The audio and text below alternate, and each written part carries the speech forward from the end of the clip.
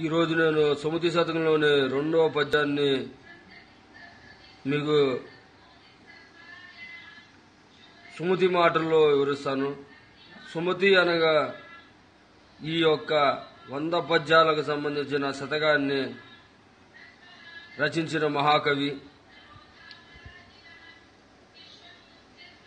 ఆయన పద్యాలు ప్రముఖంగా నీతిని విశ్వవ్యాప్తంగా ముందుకు తీసుకెళ్ళటానికి సుమతి అనే ఒక నామాన్ని ఉపయోగించి రచయిత వే- వంద పద్యాలు సృష్టించాడు రచించాడు. ఇవి మానవ కళ్యాణానికి ఎంతో ఉపయోగపడతాయి.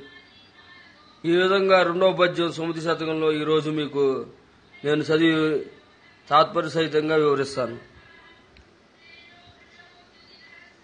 అక్కరకు రాని చుట్టము మ్రొక్కిన వరమీయని వేల్పు మోహనమున దానెక్కిన బారని గుర్రము గ్రక్కున విడవంగ వలయు గదరా సుమతి.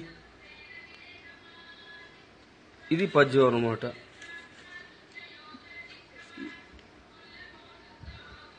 ఈ పద్యం ద్వారా మనకు తెలిసేది ఏంటంటే సహాయమునకు సమయానికి సాయం చేయని చుట్టమును సమయానికి సాయం చేయని చుట్టాన్ని నమస్కరించిన వరముని అని దైవమును యుద్ధములో తానెక్కిన పరుగెత్తని గుర్రమును వెంటనే విడువలేను.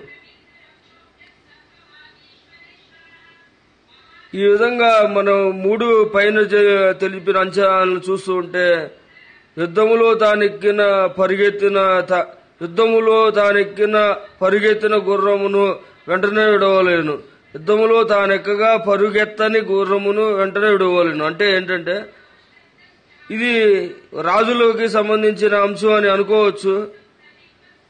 ఈ రచయిత రాజుల కాలానికి సంబంధించి ఈ రచన చేసా చేశాడు. అదేవిధంగా సమయమునకు సహాయము చేయని చుట్టము. ఇది రాజుల కాలానికి కాదు ఈ కాలానికి వచ్చే రాబోయే కాలానికి కూడా ఉపయోగపడే అంశమే. సమ నమస్కరించిన వరమీయన్ దైవమును. ఇది కూడా ఈ కాలానికి రాబోయే కాలానికి కూడా సంబంధించిన అంశమే. అంటే దీని అర్థం భక్తిగా దేవుణ్ణి ప్రార్థించినప్పుడు ఆయన ఇంకా పరీక్షలు పెడుతున్నప్పుడు ఆ దైవాన్ని వదిలేసి కొత్త దైవాన్ని చూసుకోమని సుమతి మనకి సెలవు ఇస్తున్నాడు ఈ పద్యం ద్వారా.